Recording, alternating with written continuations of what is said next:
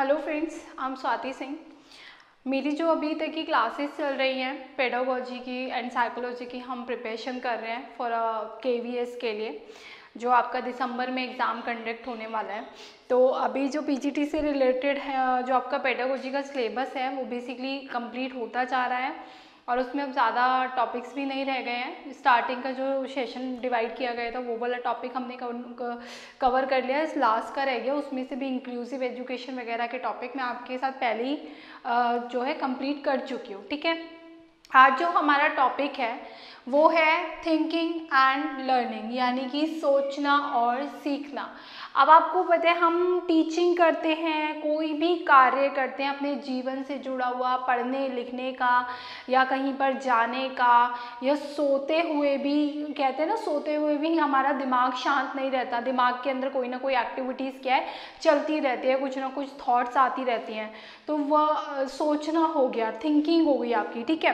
तो जो काम होते हैं, आपकी सारी जो थिंकिंग्स होती हैं और ये सारी चीज़ें होती हैं तो वो आपकी शिक्षा से कैसे संबंधित है? पहले तो हम थिंकिंग के बारे में पढ़ेंगे कि हमें बच्चे की थिंकिंग के बारे में क्यों पता होना चाहिए कि बच्चा किन किन चीज़ों से सोचता है या आपको कैसे बच्चे को उस दिशा में लेके जाना है कि आप उसको कुछ चीज़ सोचने पर मजबूर करें या फिर सीखना जो होता है, जो हमारी लर्निंग होती है, वो बच्चे के लिए कैसे यूज़फुल होती है, कैसे उसको हेल्प करती है, ठीक है? चिंतन के ऊपर एक डेफिनेशन पढ़ लेते हैं। चिंतन सभी संज्ञानात्मक गतिविधियों एवं प्रक्रिया का आधार होती है। जो हम सोचते हैं, जो हमारी थिंकिंग होती है, वो क्या होती है? हमारी मानसिक यानी कि संज्ञात्मक यानी कि मेंटल और कॉग्नेटिव जो हमारा एस्पेक्ट्स होते हैं, उनकी क्रियाओं का एक आधार होती है। आप सोचते तो दिमाग से ही है ना? बिना दिमाग के तो नहीं सोच सकते। तो सोचने के लिए किसकी ज़रूरत पड़ती है? दिमाग की ज़रूरत पड़ती है। तो दिमाग के अंदर जो क्रियाएँ चल रही हैं, मानसिक क्रियाएँ, उनके लिए जो आपको यूज़ करना पड़ता है, वो उसका आधार होती है सीखने का, ठीक है? सॉरी सोचने का, ठीक है? तथा एकमात्र मानव जाति में ही ये पाया जाता है। मतलब मानव जाति जो होती है, जो हम मनुष्य होते हैं, हम किसी काम को सोचने, समझने का हमारे अंदर गुण पाया जाता है। आपने कई बार एक चीज़ कहते हुए सुना होगा, अगर मैं खाना परोस रही हूँ किसी को और कोई बिल्कुल बेधुज होके खा रहा है कि उठा के मुट्ठियों से बना बना के गोले खाए जा रहा है इधर उधर फैला रहा है, खाना गिर रहा है तो हम उसको बोलते हैं ना कि इंसान है कि जानवरों की तरह खा रहा है। ठीक है जानवरों को तरह हम उससे कैसे क्यों कंपेयर कर देते हैं? क्योंकि जानवर क्या होते हैं बेसिकली ठीक है सोच समझ के कोई काम नहीं करते। उनकी जो क्रियाएँ होती हैं वो करते हैं। लेकिन हम मनुष्य के पास दिमाग है। हमें कोई भी काम करने के लिए पहले सोचना चाहिए समझना चाहिए तब उस काम को करना चाहिए राइट तो इसीलिए क्या बोला जाता है कि आ, सोचने समझने की जो एक शक्ति दी गई है, वो एक मानव जाति के पास ही दी गई है, जिसके द्वारा वो किसी भी काम को पूर्ण कर सकता है, ठीक है? इसमें वातावरण से प्राप्त सूचनाओं का प्रत्यंशन व विश्लेषण सम्मिलित होता है। आपके वातावरण से आपकी सूचनाएँ और जो आपकी थिंकिंग होती है, जो आपका सोचना होता है, वो आपके वातावरण से कनेक्टेड होता है। क्यों? आप अपने घर पे रहते हो तो घर के अंदर जो आपके लोग रहते हैं, बाकी उनके द्वारा जो इन्फॉर्मेशन दी जा रही है, जो बातें की जा रही हैं, जो विचार किए जा रहे हैं, आप उन पर सोचते हो। स्कूल में जाते हो, मैम ने कुछ सिखाया, कुछ पढ़ाया, आप उस पर थिंकिंग करने लगते हो, उसके, उससे रिलेटेड कुछ थॉट्स आने लगते हैं।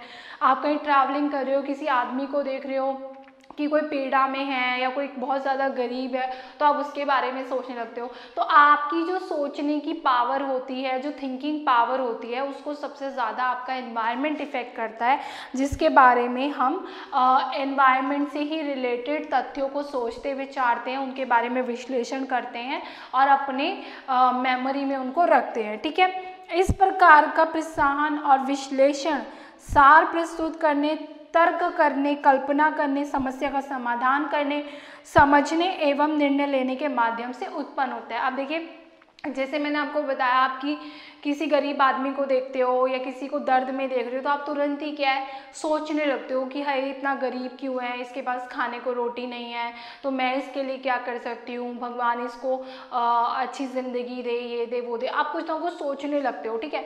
तो जहाँ पे आपके दिमाग में तर्क आने लगते हैं उस समस्या का समाधान खोजने की आप कोशिश करते हो एक लक्ष्य निर्धारित कर लेते हो या उसके बारे में अपने ज्ञान को प्रस्तुत करते हो तो वो सारी चीज़ें क्या होती हैं आपकी थिंकिंग होती है ठीक है? आपका सोचना होता है।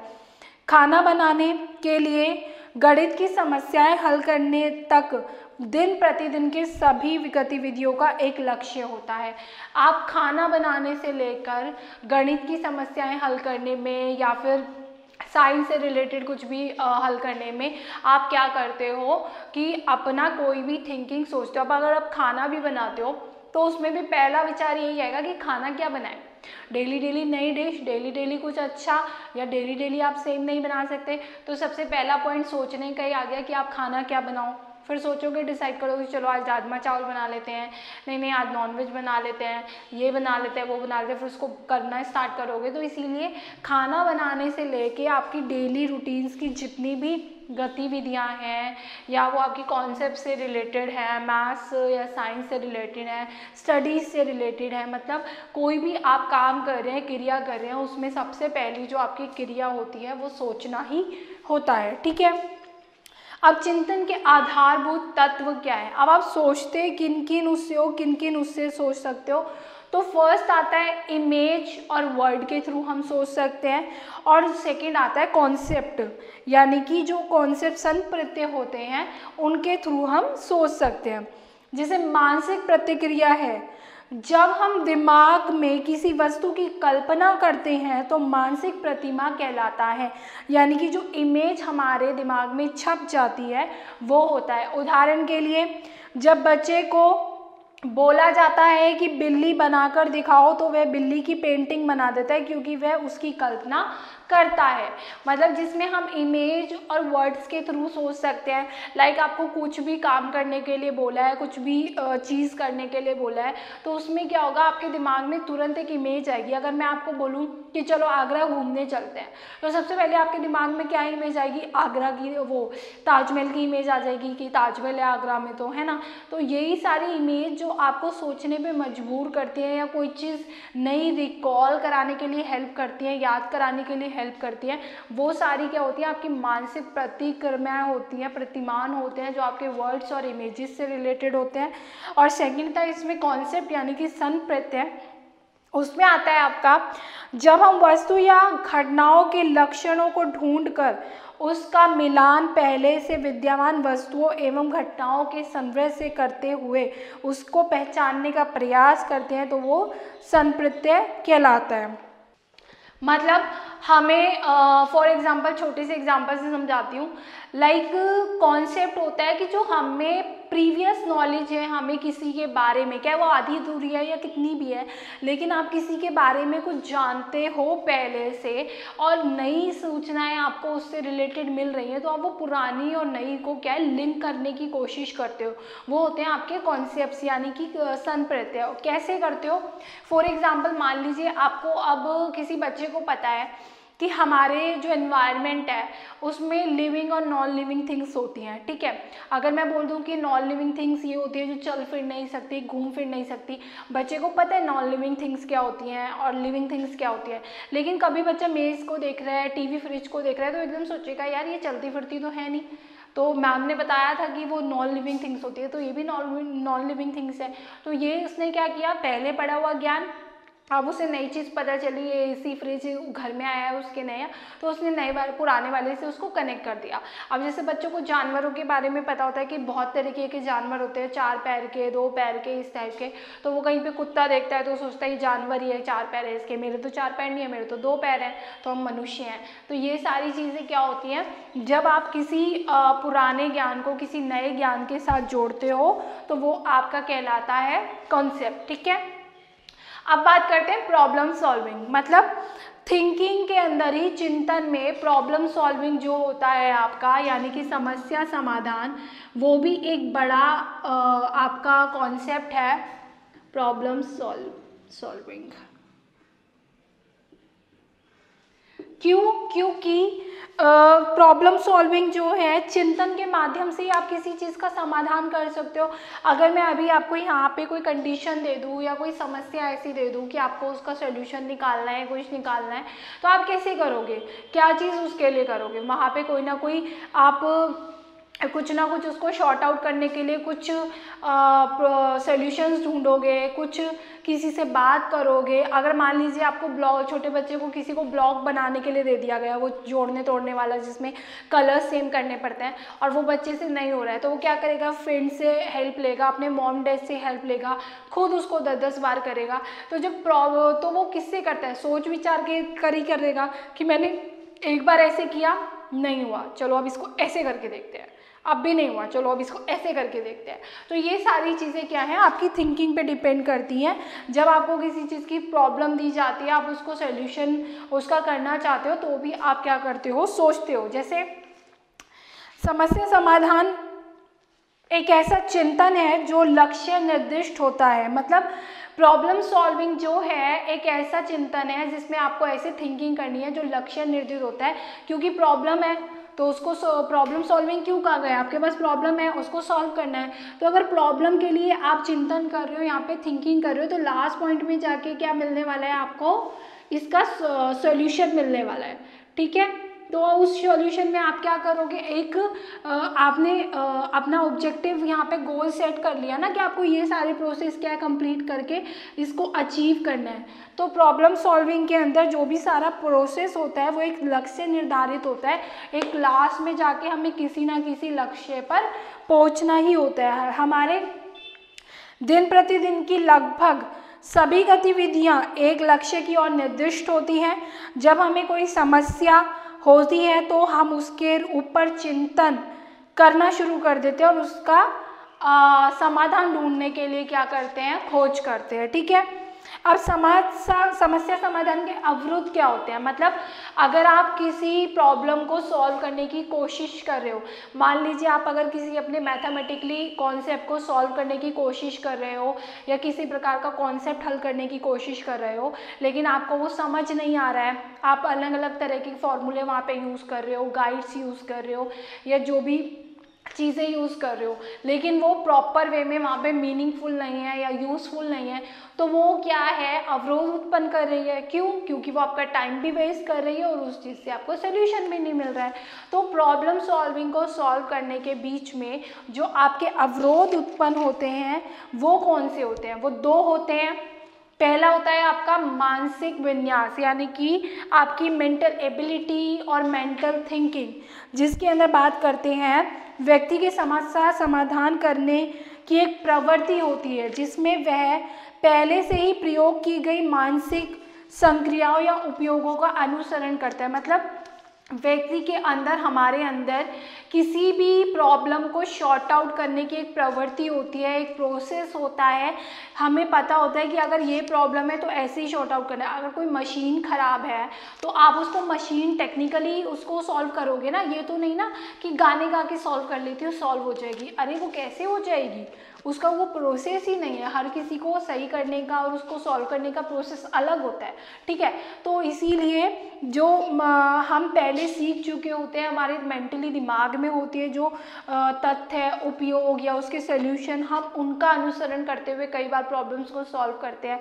अब जैसे आपको बेसिकली हमें पता होता है कि अगर किसी का हाथ जल जाता है या गर्म तेल वगैरह पड़ जाता है, जल जाता है तो उस पर ठंडा पानी डालना चाहिए कोलगेट लगा देना चाहिए, ये सारी चीज़ें, बर्फ़ लगा देनी चाहिए ताकि उस पर छाला ना पड़े।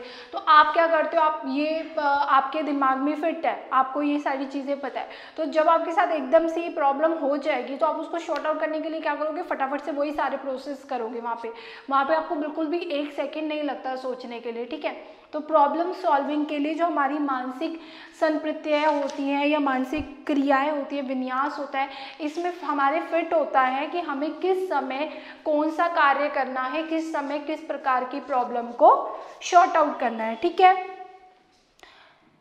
किसी विशिष्ट युक्ति की पूर्व सफलता नई समस्या के समाधान में कभी कभी सहायक होती है। यद्यपि यह प्रवृत्ति मानसिक दृढ़ता में उत्पन्न करती है, जो समस्या के समाधान के लिए नए नियम, युक्तियों के बारे में सोचने में बाधक बनाती है और मानसिक विन्यास की तरह ही समस्या समाधान में प्रत्यक्ष स्थिरता जब उत्पन्न करती है। मतलब एक और चीज़ मैं यहाँ पे बेसिकली जो आपको बुक के थ्रू मेरी जो पुरानी वीडियोस अगर आप देखेंगे तो मैंने हमेशा ट्राई किया है कि आपको समझा के ही बताऊँ। अगर मुझे कोई पॉइंट्स पता है, कोई टॉपिक पता है तो मैं उनको लिख देती थी और आपको डायरेक्ट एक्सप्लेनेशन दे देती थी ताकि आपको ईजी हो और एग्जाम्पल्स सही लगे। लेकिन अभी क्या है मैं थोड़ी थोड़ी डेफिनेशंस उसके अंदर बोल देती हूँ ताकि आपको एग्जैक्टली exactly उसका मतलब पता चल सके। बिकॉज़ एग्ज़ाम uh, के अंदर uh, कई बार ऐसे होगा कि जो मैं चीज़ें बहुत इजी वे में आपको समझा रही हूँ बोल रही हूँ वो आप समझ तो जाओगे। लेकिन टेक्निकली वहाँ पे अगर आपसे ऐसे ही पूछ लिया कि हमारी मानसिक विन्यास की जो क्रियाएँ होती हैं वो हम सबसे ज़्यादा कहाँ पे यूज़ करते हैं? या फिर पहला चरण क्या होता है इसको यूज़ करने का? किसके अंदर यूज़ की जाती है? तो वो क्या आपका डायरेक्ट आंसर बन जाएगा कि प्रॉब्लम सॉल्विंग के अंदर हमारे विरोध होते हैं जिसके अंदर मानसिक विन्यास जो होता है हमारा इफ़ेक्ट करता है। तो इसीलिए अगर मैं आप ये वर्ड्स नहीं बोलूँगी या इनके बारे में नहीं बताऊँगी तो क्या है? आपको भी आ, समझ भी नहीं आएगा और बाद में आपको दिक्कत होगी ठीक है? उसमें सेकेंड पॉइंट है अब आपका अभिप्रेरणा का अभाव, यानी कि मोटिवेशन जो होता है, उसका अभाव हो जाता है कई बार प्रॉब्लम सॉल्व करने में। कैसे? यदि काम करते समय अभी, अभिप्रेरणा का अभाव होगा तो इसमें अवरोध उत्पन्न हो जाता है। अगर आप कोई भी काम कर रहे हो, लेकिन आपको मोटिवेशन नहीं मिल रहा है, आप उस काम को आगे करने के लिए मोटिवेट नहीं कर रहे हो, किसी चीज़ को, मान लीजिए मैथ्स के कॉन्सेप्ट को आपके पास कोई मैथ से रिलेटेड प्रॉब्लम है। आपने फॉर्मूला पुट किया, इतना सॉल्व कर लिया। लेकिन आपको उसमें क्या कुछ एरर मिल रहे हैं, कुछ दिक्कतें आ रही हैं? तो आप आगे जाने के लिए क्या है मोटिवेटेड ही नहीं हो रहे हो कि यार मेरे से नहीं होगा। मैं क्यों बार बार ट्राई कर रहा हूँ? मैं क्यों अपना टाइम वेस्ट कर रहा हूँ? छोड़ पड़े, रहने दें। तो वो क्या होगा, आप किसी भी काम के लिए जब तक मोटिवेट नहीं होगे तो तब तक उसको कंप्लीट ही नहीं करोगे आधा अधूरा छोड़ दोगे। तो ये भी एक अवरोध है। कि अगर आप मोटिवेटेड नहीं हो तो आधा छोड़ दोगे तो वो चीज़ कंप्लीट ही नहीं हुई। तो मोटिवेटेड होना बहुत ज़रूरी है किसी भी काम को पूरा करने के लिए। ये भी एक एरर पैदा करता है प्रॉब्लम सॉल्विंग के अंदर कि अगर आप प्रॉपर वे में मोटिवेटेड नहीं हो मोटिवेशन की कमी है आपके अंदर, या किसी रूप में आपको मोटिवेशन नहीं मिल रहा है तो उस कंडीशन में भी क्या है? आपका प्रॉब्लम जो है वो सॉल्व नहीं होगी। ठीक है? अब बात करते हैं रीजनिंग यानी कि तर्कना। देखिए, अब हमने जो सोचना था हमारा, जो थिंकिंग हम कर रहे हैं थिंकिंग के अंदर एक हमने प्रॉब्लम सॉल्विंग कर लिया। अब जो सेकंड पे बात करते हैं, वो हम करते हैं रीजनिंग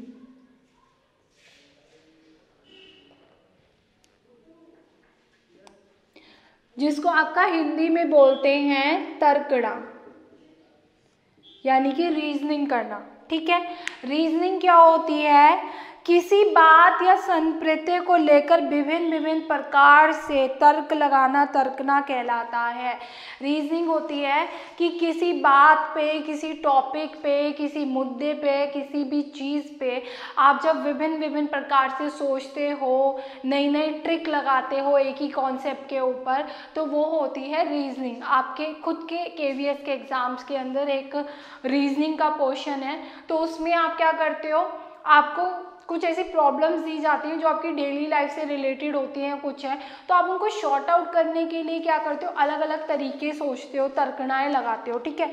तो रीजनिंग बेसिकली तर्कनाएँ होती हैं जब हम किसी विषय के बारे में अलग अलग तरीके से सोचते हैं। फॉर एग्ज़ाम्पल कि एक बस जा रही है। तो और उसके पीछे बंदा भाग रहा है और सामने वाले दो बंदे बैठे हुए उसको देख रहे हैं ऑब्ज़र्व कर रहे हैं। तो एक के दिमाग में तो ये आ रहा है कि इसको ऑफ़िस के लिए लेट हो रहा है, इसीलिए बस के पीछे भाग रहा है और बस जो है बस का पीछा कर रहा है ताकि ऑफ़िस जल्दी पहुँच जाए या जहाँ भी, जिस भी स्थान पे जाना चाहता है वहाँ जल्दी पहुँच जाए।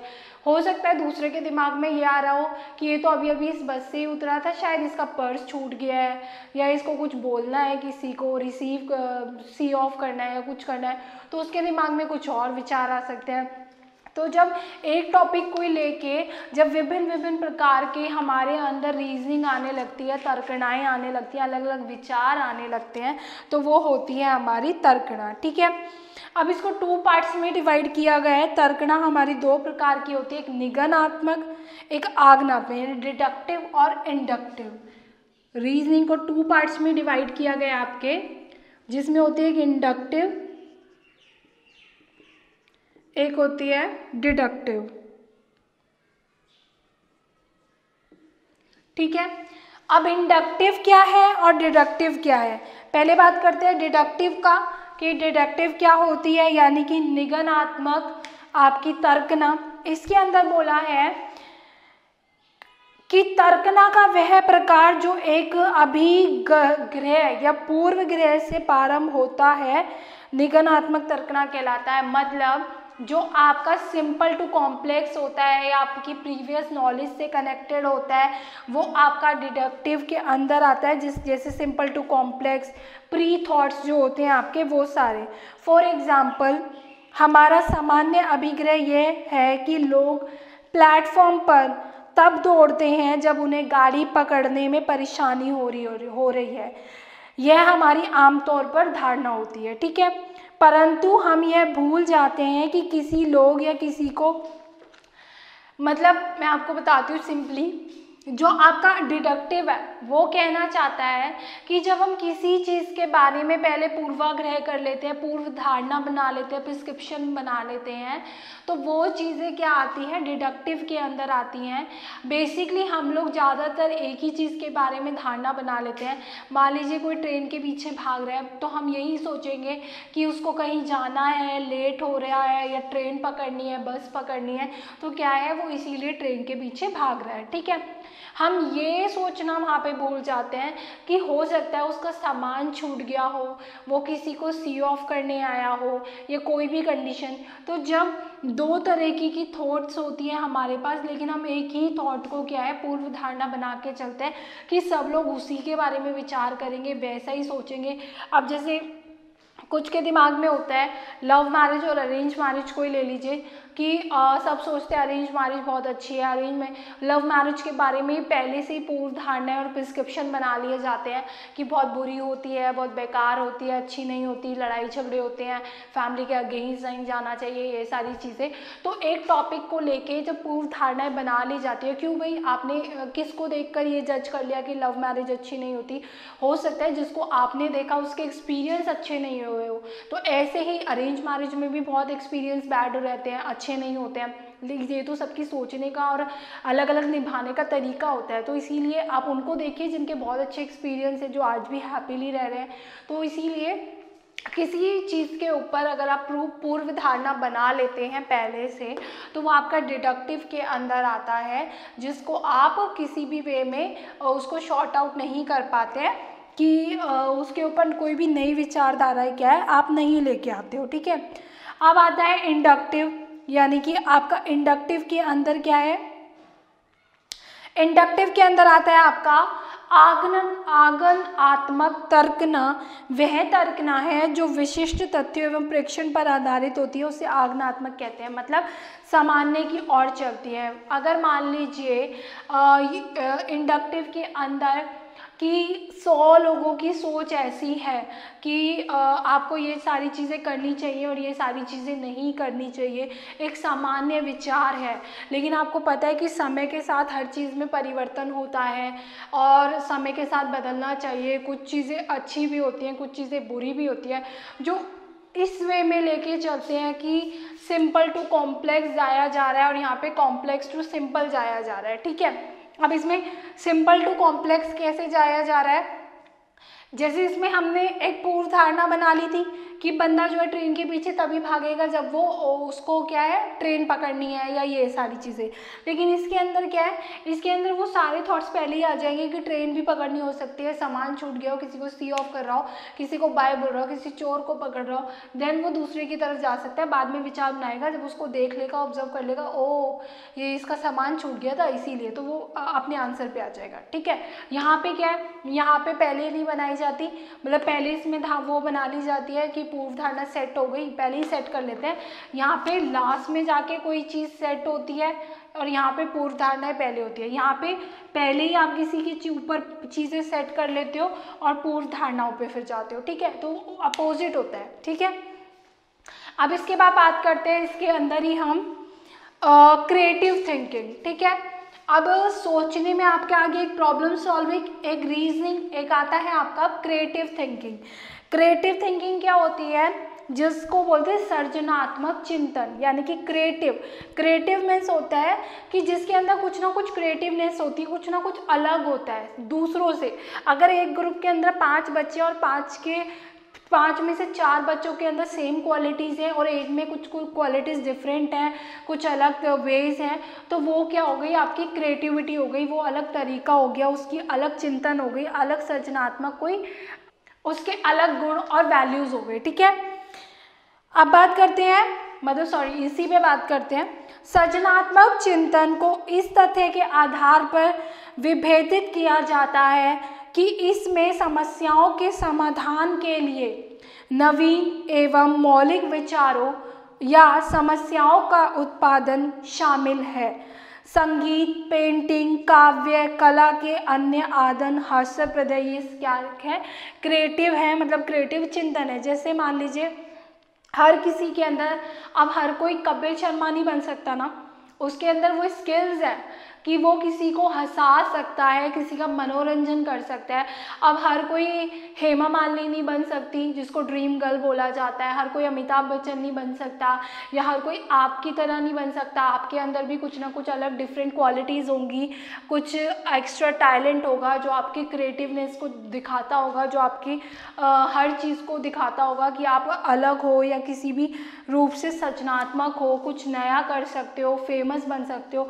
तो ये सारी चीज़ें क्या होती हैं जो बच्चे को बाकी बच्चों से अलग करती है? चाहे वो चिंतन हो, या उसकी पर्सनैलिटी हो, या कोई आर्ट हो, कोई कला हो, ये सब चीज़ें क्या होती है? सृजनात्मक होती है। अब यहाँ पे सृजनात्मक सर्जनात्मक चिंतन लिया गया है, यानी कि क्रिएटिव थिंकिंग ली गई है। तो इस यहाँ पे बेसिकली बात किस चीज़ की हो रही है? कि जो बच्चा बहुत क्रिएटिव तरीके से सोचता हो, एक के ऊपर विचार करता हो अलग अलग तरीक़ों से अलग अलग माध्यमों से कि ये चीज़ है, ये चीज़ है तो उसका क्या है? बेसिकली वो क्या करता है?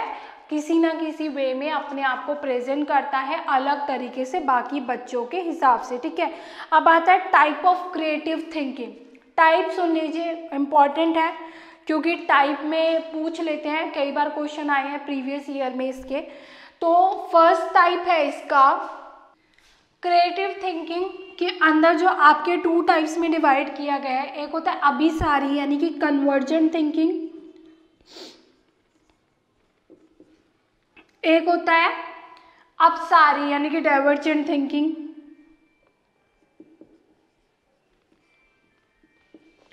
ठीक है? अब देखिए जो हिंदी माध्यम वाले बच्चे हिंदी मीडियम वाले वो प्लीज़ मैं आपको सजेस्ट कर रही हूँ कि इंग्लिश में ही लर्न कर ले। जिनको आ, हिंदी में लर्न करना आसान लगता है वो हिंदी में लर्न कर ले क्योंकि हिंदी थोड़ी इसमें कंफ्यूजिंग हो जाती है। क्योंकि जो दोनों का आ, स्पेलिंग है या फिर मतलब है मतलब वो है आ, हिंदी के अंदर शब्द है वो थोड़ा सिमिलर सा है। तो इसीलिए मैं कंफ्यूज हो जाती हूँ तो इसीलिए मैं इंग्लिश में ही ट्राई करती हूँ। तो हिंदी में अभिसारी और अपसारी, ठीक है, थोड़ा सिमिलर वर्ड प्रनाउंस हो रहे हैं यहाँ पे स्पेलिंग में भी ज़्यादा आपको फ़र्क नहीं लग रहा होगा। तो इसीलिए मैं बोल रही हूँ, आप इंग्लिश में लर्न कर लीजिए कन्वर्जेंट और डाइवर्जेंट कन्वर्जेंट थिंकिंग कौन सी होती है? कन्वर्जेंट थिंकिंग होती है अभी सारी चिंत कन्वर्जेंट थिंकिंग वह चिंती है जिसमें आवश्यकता वैसी समस्याओं को हल करने में पड़ती है जिसका मात्र एक सही उत्तर होता है। देखिए सिंपल भाषा में आपको समझाती हूँ। कन्वर्जेंट थिंकिंग के ऊपर सिर्फ़ बच्चा एक ही चीज़ से सोचता है, एक ही चीज़ से सोल्यूशन करता है। अगर मैं, मान लीजिए, बच्चे को टू प्लस थ्री दे दूँ तो बच्चे को पता है इसको प्लस करना है, ठीक है? या मान लीजिए, मैंने यहाँ पे प्लस का साइन ना लगा के या कुछ भी, मैंने बच्चे को बोल दिया यहाँ पे इज़ इक्वल टू में फाइव आना चाहिए वो वाला कॉन्सेप्ट यहाँ पे रखो।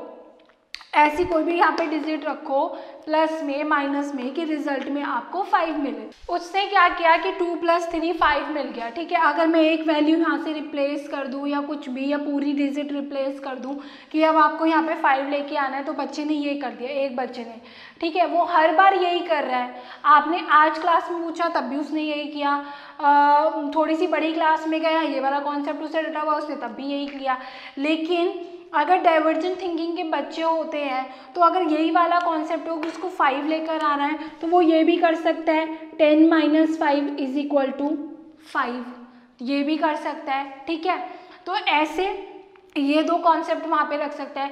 तो जो बच्चे केवल एक ही वे में, एक ही दिशा में, एक ही माध्यम में, एक ही विचार से सोचते हैं, उनकी थिंकिंग कन्वर्जेंट होती है मतलब वो एक सीमित दायरे के अंदर रह के सोचते हैं, सिर्फ़ एक ही दिशा में। और डाइवर्जेंट थिंकिंग वाले बच्चे वो होते हैं जिनके लिए क्या है डाइवर्जेंट थिंकिंग हो, उनको अलग अलग तरीके से सोचते हैं। एक माध्यम, एक प्रोसेस नहीं होता है, कोई दायरा नहीं होता है, वो अलग अलग तरीके से सोच सकते हैं कि मैं तो ऐसे भी करूँगा, ऐसे भी ऐसे भी ऐसे भी। इसको तो मैं इतने तरीक़ों से कर सकता हूँ। तो वो हो गए डाइवर्जेंट थिंकिंग और जो बच्चे सोचते हैं, बस मैं तो इसको ऐसे ही करूँगा, ये ऐसे ही सॉल्व होगा, बात खत्म हो गई। तो वो होते हैं आपके कन्वर्जेंट थिंकिंग ठीक है? ये आपका हो गया आ, सोचना। हमने थिंकिंग पढ़ लिया। अब बात करते हैं लर्निंग यानी कि सीखना। लर्निंग क्या होती है? अधिकम को हम अनुभवों के कारण व्यवहार की क्षमता में होने वाले अपेक्षित स्थायी व्यवहार। जो आपकी लर्निंग होती है बेसिकली देखिए किसी भी प्रकार की लर्निंग हम तब कहते हैं, किसी भी प्रकार का ज्ञान प्राप्त करना या सीखना हम तब कहते हैं जब हमारे बिहेवियर में चेंज आता है। ठीक है? अगर मैं आपको ये वाला टॉपिक पढ़ा रही हूँ थिंकिंग एंड लर्निंग तो जब आप इसको पढ़ के समझ जाओगे, अगर आपके एग्ज़ाम में आपसे पूछ लिया जाता है कि कन्वर्जेंट थिंकिंग वाले बालक कौन से होते हैं और आप उसका आंसर कर देते हो डाइवर्जेंट थिंकिंग वाले बालक कौन से होते हैं, आप उसका भी आंसर कर देते हो, तब मैं समझूँगी कि इस क्लास का यूज़ हुआ है, ये क्लास मीनिंगफुल रही है आपके लिए साइकोलॉजी और पेडागोजी के अंदर। और आपके बिहेवियर में क्या हुआ? चेंज हुआ, ठीक है? तो बेसिकली सीखना या अधिकम तब होता है जब किसी के बिहेवियर में चेंज हो, ठीक है? यानी कि व्यवहार में क्या है? परिवर्तन हो। अगर किसी के बिहेवियर में चेंज हो रहा है तो मतलब उसने लर्निंग करी है। उसका सीखना आ, सफल रहा है। लेकिन अगर किसी ने लर्निंग नहीं हुई उसके व्यवहार में परिवर्तन नहीं हुआ तो मतलब मान लीजिए कि उसने किसी प्रकार की लर्निंग करी ही नहीं है। अब बात करते हैं करेक्टरिस्टिक्स ऑफ़ लर्निंग कि लर्निंग की विशेषताएँ क्या क्या हैं? सीखना क्या है? इसकी बात कर लेते हैं। सीखना सार्वभौमिक है मतलब यूनिवर्सल ट्रुथ है सीखना। मतलब आप कोई भी काम करोगे तो मतलब आप सीख रहे हो। अगर ऐसा हो रहा है कि आपके लिए कुछ एरर्स आ रहे हैं या आप कई बार फेल हो रहे हो, आप अभी गवर्नमेंट एग्ज़ाम्स देते रहते हो। किस लिए देते हो? ताकि आपको गवर्नमेंट जॉब मिल जाए राइट लेकिन आपके आप उसमें आपके लिए प्रोसेस क्या होता है? आप एक बार फेल होते हो दो बार फेल होते हो तीन बार। तो वो भी किस तरीके की है? वो भी एक तरह की, की लर्निंग ही है कि आप उससे नया कुछ सीख रहे हो। आपको ये पता चल रहा है कि मैं आज ऐसे एग्ज़ाम अटेम्प्ट करके आया हूँ मैंने ये वाला क्वेश्चन ऐसे किया मतलब गलत है तो नेक्स्ट टाइम ऐसे नहीं करना है तो कैसे सही करना है इसको? आप उसको सही करते हो। तो वो भी क्या है आपने कुछ नया सीखा वहाँ पे कुछ ना कुछ बिहेवियर में चेंज ही हुआ ना। फेलियर रहे लेकिन आपने नया सीखा उस पर और ज़्यादा मेहनत करी उसको चेंज किया तो वो क्या हो गया? लर्निंग हो गई। ठीक है? तो एक विशेषता ये होती है कि यूनिवर्सल भी होता है। यूनिवर्सल क्यों रह होता है? कि लर्निंग सभी के अंदर होती है। ये नहीं कि आ, हम लोग मनुष्य हैं लिविंग थिंग्स हैं कि, कि हम ही सीखते हैं। जो जानवर होते हैं वो भी किसी ना किसी की तरह की, की क्या करते हैं? लर्निंग ही करते हैं। जो आपके जीव जंतु होते हैं, बाकी सब होते हैं यूनिवर्सल मीन सभी, जो आपके यूनिवर्सल के अंदर सर्वभौमिक रूप से आते हैं क्या है वो जीव जंतु हो, मनुष्य हो, कोई भी हो, सीखना क्या है? सभी में होता है, ठीक है? सेकंड इसके अंदर करेक्टरिस्टिक्स आती है इसकी, सीखना जीवन पर्याप्त प्रक्रिया है मतलब लाइफ लॉन्ग प्रोसेस है सीखना कभी रुकता नहीं है कि एक उम्र के साथ सीखना रुक जाएगा। आपने आज लर्निंग करी है तो ऐसा तो नहीं ना कि आपकी शादी हो गई, आपने जॉब ले ली तो आपका सीखना ख़त्म हो जाएगा। आप रोज़ कुछ ना कुछ नया सीखते हो, रोज़ घर में कुछ नया सीखते हो, रोज़ खाना बनाते हुए कुछ नया सीखते हो, बाहर ट्रैवलिंग में कुछ नया सीखते हो, कहीं नई जगह पर विज़िट कर रहे हो, वहाँ कुछ नया सीखते हो, किसी नए पीपल से कुछ नया सीखते हो सोशल नेटवर्किंग साइट से कुछ नया सीखते हो तो जो सीखना है हमारा, वो हमारी मृत्यु यापन तक चलता रहता है। जब तक हम मर नहीं चाहते हैं, तब तक हम कुछ ना कुछ नया सीखते ही रहते हैं। सीखना विकास है। सीखने से क्या है? डेवलपमेंट होता है। क्यों? क्योंकि मान लीजिए, आप कुछ नया सीख रहे हो। अगर मुझे आज इन चीज़ों के बारे में इतनी सी नॉलेज है, लेकिन कल मुझे इतनी नॉलेज होगी तो क्या हुआ? मेरा नॉलेज इंक्रीमेंट हुआ, मेरा विकास हुआ, मेरा बौद्धिक स्तर बढ़ रहा है, मेरा मानसिक स्तर बढ़ रहा है तो क्या हुआ? उसमें विकास हुआ। तो सीखना क्या है? विकास है एक तरीके का कि किसी ना किसी वे में जो भी आप लर्निंग करते हो, वहाँ पे अपना डेवलपमेंट आप करते हो, ठीक है? सीखना एक अनुकूल प्रक्रिया है मतलब एक अनुकूल मतलब पॉजिटिव है। ये नहीं कि अगर सीखना पॉजिटिव है तो नेगेटिव भी होगा। मान लीजिए आप कहीं पे कुछ काम कर रहे हो, कुछ अच्छा सीख रहे हो। अगर आपने उसमें अच्छा किया तो आपने कोई अच्छा सीखा है पॉजिटिव पॉजिटिव सीखा है। लेकिन अगर आप उसमें फेल हो गए तो आपने वहाँ पे नेगेटिव सीखा है। ये नहीं है कि आप वहाँ पे नेगेटिव सीखोगे। वहाँ पे भी आप कुछ ना कुछ पॉजिटिव ही सीखोगे। क्यों? नेगेटिव के साथ साथ वहाँ पे आपको ये चीज़ की समझ आ जाएगी, ये चीज़ लर्न करने को मिलेगी कि मेरे यहाँ पे ये फेलियर्स में रीजंस क्या थे? जो मैं फेल हो गया, जो मेरे एरर्स थे, वो क्या थे? तो अब मैं उनको, उनकी कमी करूँ, उसको शॉर्ट आउट करूँ, उन प्रॉब्लम को रिजॉल्व करूँ और अपने बिहेवियर में चेंज करूँ, ठीक है? तो इसीलिए सीखना ऑलवेज़ एक अनुकूल प्रक्रिया होती है। आप उसको नेगेटिव कभी नहीं ले सकते। ऑलवेज़ वो आपके लिए किसी ना किसी वे में पॉजिटिव ही होती है।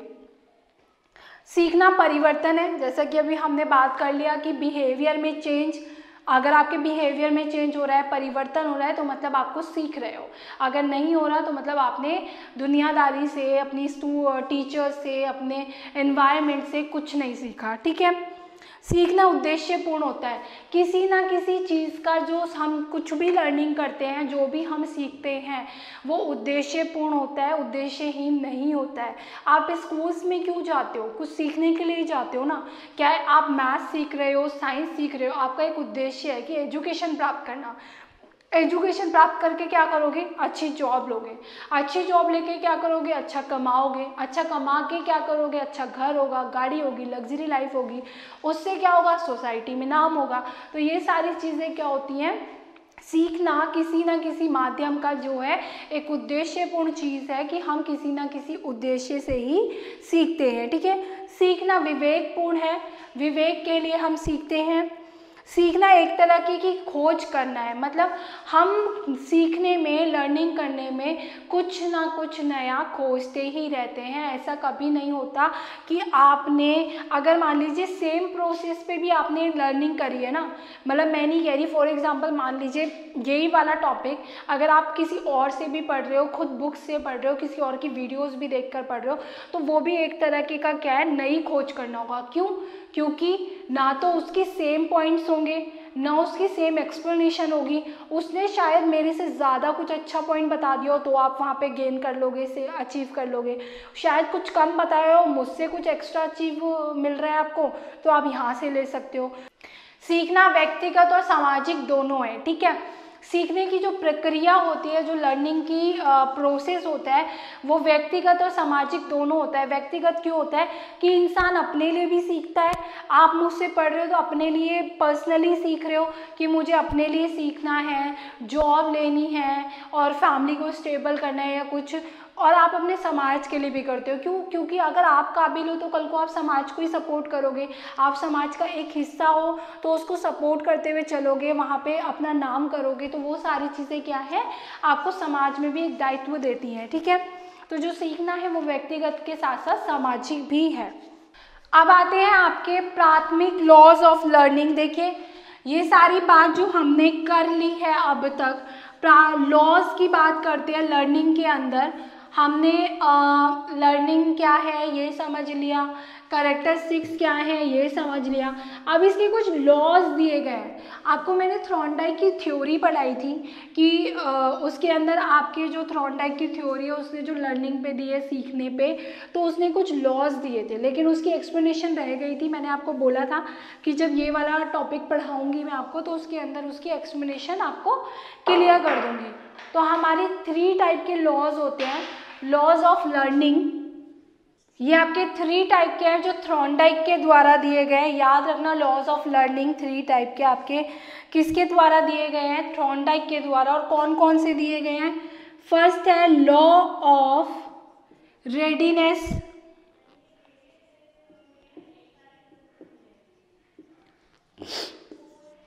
सेकेंड है law of exercise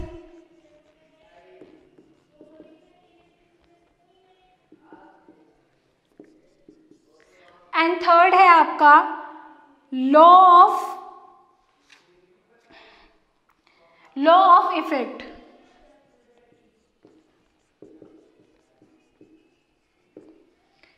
law of readiness होता है आपका तत्परता का नियम। ये आपके थ्री लॉज ऑफ़ लर्निंग है, तीन लॉ दिए गए हैं लर्निंग के अकॉर्डिंग फ़र्स्ट है इसमें लॉ ऑफ़ रेडीनेस यानी कि तत्परता का नियम। देखिए, तत्परता का नियम, यानी कि रेडीनेस से आपको समझ आ रहा होगा कि थ्रॉन्डाइक के अनुसार कहा गया था कि किसी भी काम को करने का पहला नियम यही है कि आप उसके लिए रेडी रहो। आप उसके लिए तत्पर रहो सीखने के लिए। अगर आप उसके लिए रेडी नहीं हो उस काम को सीखने के लिए तो आप अच्छे ढंग से उसको नहीं सीख पाओगे।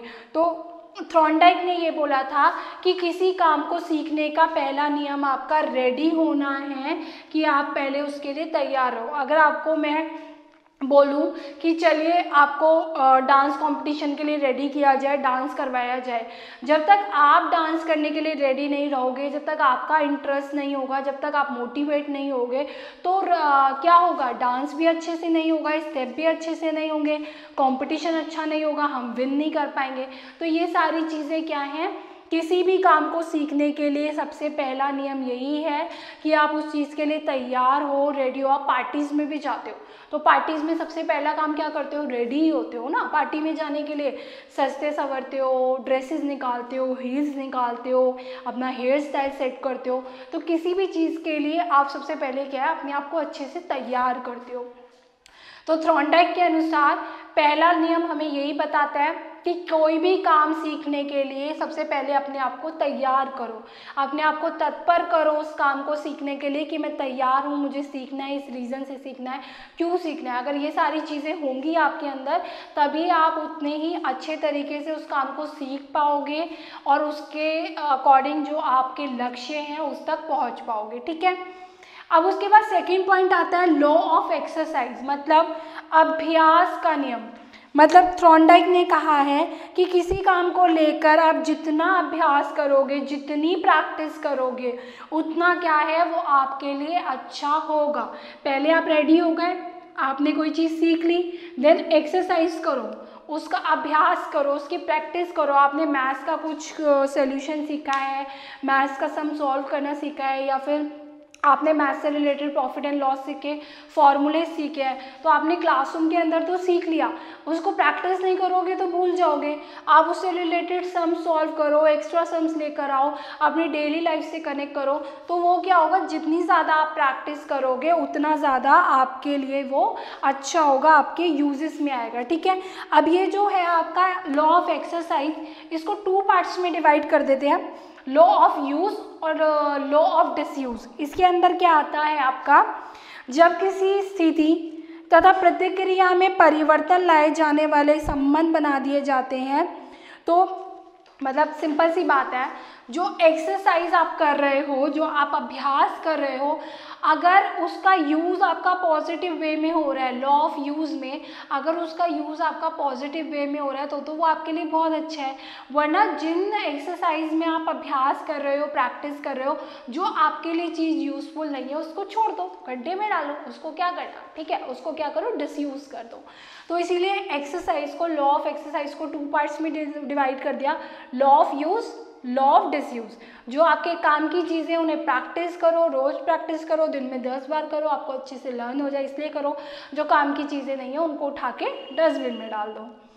अब लास्ट इसमें आता है लॉ ऑफ़ इफ़ेक्ट यानी कि प्रभाव का नियम। अब लॉ ऑफ़ इफ़ेक्ट कैसे है?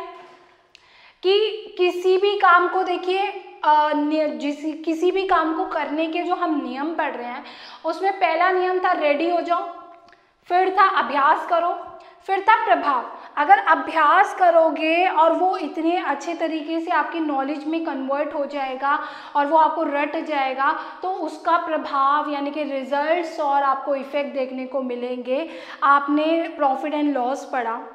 पढ़ने के लिए आप क्लासरूम के अंदर रेडी हुए, आपने पढ़ लिया देन उसको दस बार, पंद्रह बार, बीस बार एक्सरसाइज किया देन क्या किया एग्ज़ाम जब आया आपने वहाँ पे सोल्यूशन किए तो आपको लास्ट पॉइंट में क्या है, उसके इफ़ेक्ट देखने को मिल रहे हैं, उसके प्रभाव देखने को मिल रहे हैं कि आपको ten out of ten marks मिले, ठीक है?